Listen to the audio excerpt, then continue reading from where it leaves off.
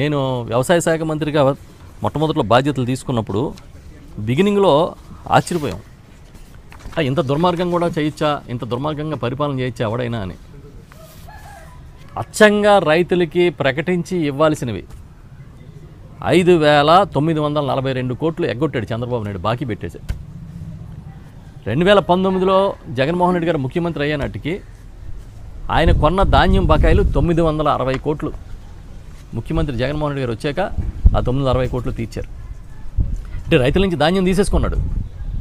తీసుకున్న మూడు నెలలకి ఆరు నెలలకు డబ్బులేలే మేమన్నీ పరిశీలిస్తుంటే ఈ బకాయిలన్నీ ఒకటి ఒకటి బయటపడినాయి.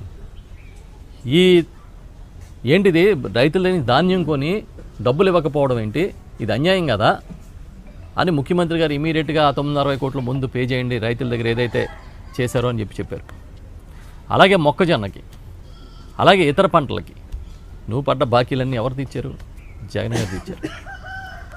విత్తనాల కొనుగోలు చేసి ఆ బకాయిలు కూడా తీర్చకపోతే మూడు వందల ఎనభై రెండు కోట్లు జగన్మోహన్ రెడ్డి గారు ఇచ్చారు.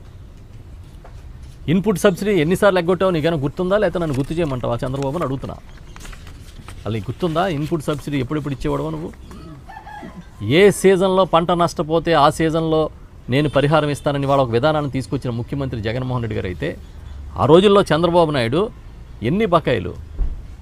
ఏ ఒక్క సీజన్లో కూడా. అది వర్షాల వల్ల పంటలు పోయినా కరువు వల్ల పంటలు పోయినా ఒక్క సీజన్లో కూడా సకాలంలో సబ్సిడీ ఇవ్వలే నష్టపరిహారం ఇవ్వలేదు. మీకు కావాలంటే నేను వివరాలు నా దగ్గర ఉన్నాయి. ప్రతిసారి అది ఏ తుఫానైనా సరే రెండు వేల పదిహేను పదహారులో పంట నష్టాలు జరిగితే ఇవ్వలే. పదహారు పదిహేడులో జరిగితే ఇవ్వలేదు.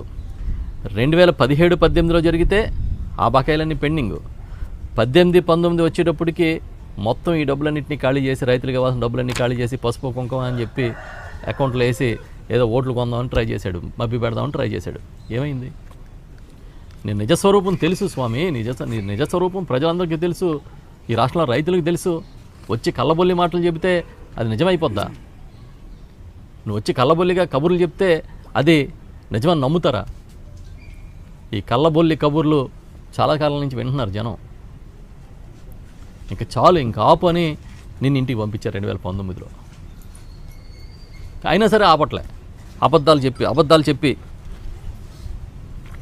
చివరికి రైతులు ఆత్మహత్యలు చేసుకుంటే నాలుగు వందల డెబ్బై నాలుగు ఆత్మహత్యల్ని రైతు ఆత్మహత్యలు కాదని క్లోజ్ చేశాడు ఈ పెద్ద మనిషి. మా ముఖ్యమంత్రి గారు వచ్చిన తర్వాత మళ్ళీ కమిటీ వేసి లేదు అంతకుముందు జరిగిన ఏవైతే సూసైడ్స్ అని మా దగ్గర మన దగ్గర రికార్డు ఉందో వాటన్నిటిని కూడా పరిశీలించండి అని చెప్పి మళ్ళీ నాలుగు వందల డెబ్బై నాలుగు కేసులు జెన్యున్ అని చెప్పి తేల్చి వాటన్నిటిని కూడా పరిహారం ఇవ్వడం జరిగింది. ఇది చంద్రబాబు నాయుడికి గుర్తులేదు గజనీలాగా గంట గంటకు ముందు జరిగింది గుర్తుండదు ఈ పెద్ద మనిషికి. తన ప్రభుత్వంలో ఏం చేశాడో గుర్తులేదు తాను ఏదో ఉద్ధరించినట్టుగా ఓడబొడిచినట్టుగా బిల్డప్లు ఇచ్చుకుంటూ తిరుగుతున్నాడు ఇక్కడ. నీ ఉద్ధరణ ఏంటో నీ ఓడబొడిచిందేంటో మా అందరికీ తెలుసని రైతులు నవ్వుకుంటున్నారు.